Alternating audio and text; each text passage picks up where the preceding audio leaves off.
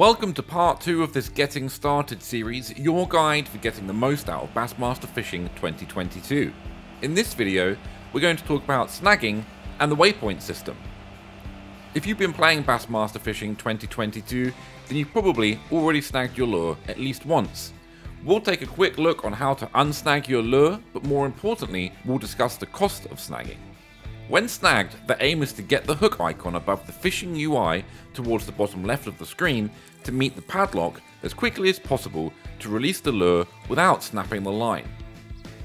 If you snap the line, that lure is gone, and if that lure costs you bass bucks, you'll need to buy a replacement which is losing your precious fishing time, and in competitive fishing, every second counts.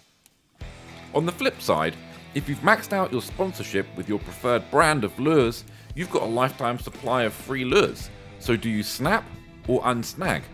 That's up to you.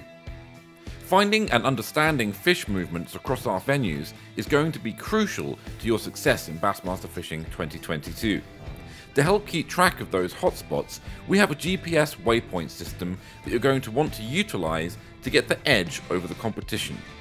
If you found a great spot for largemouth bass, or maybe you've discovered a brush pile, weed bed, or drop off, and you want to be able to find your way back to that spot when competing, drop a waypoint, pick a fish species, color code it, and add a note perhaps with the time of day or the point of interest you've found, and the next time you fish that venue, you'll know where to head.